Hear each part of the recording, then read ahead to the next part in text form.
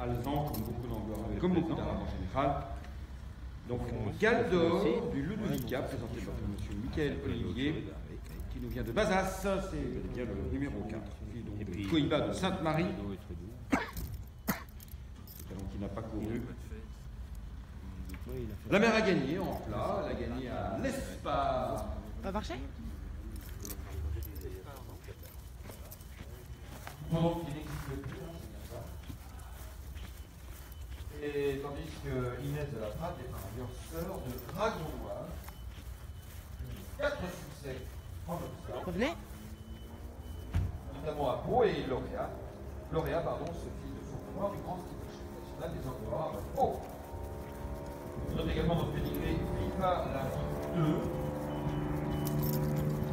2. Et donc, Floridège à Dax en plat, notamment, elle a remporté deux courses en plat. On va trotter C'est la famille. Il